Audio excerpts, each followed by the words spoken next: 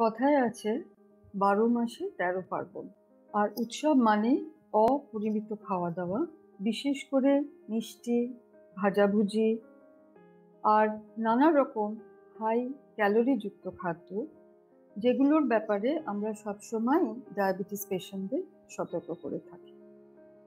আর শুধু খাওয়া দাওয়াই নয় উৎসবের সময় দেখা যায় যে দৈনিক হাঁটা বা অন্য ধরনের এক্সারসাইজ সেগুলো অনিয়মিত হয়ে পড়ে।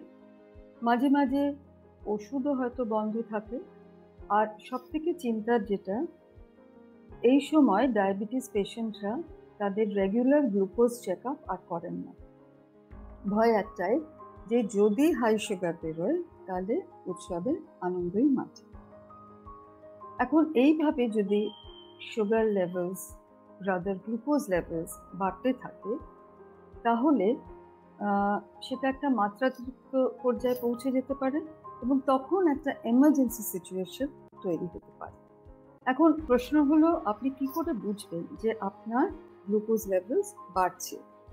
সাধারণভাবে ক্লান্তি, ওজন কমে যাওয়া, অতিরিক্ত খিদে, বারবার জল পিপাসা, বারবার প্রস্রাব করা, প্রস্রাবে ইনফেকশন এগুলোই লক্ষণ। আর কোভিডের সময়, এই প্যান্ডেমিকের সময় ডায়াবেটিস কন্ট্রোল অত্যন্ত জরুরি। কারণ যদি একজন ডায়াবেটিস পেশেন্টের কোভিড ইনফেকশন হয়, তাহলে সেটা অনেক বেশি সিরিয়াস হয়ে দাঁড়ায়।